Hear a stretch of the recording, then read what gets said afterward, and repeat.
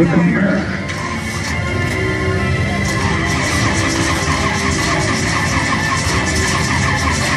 See that? So who's the jump box?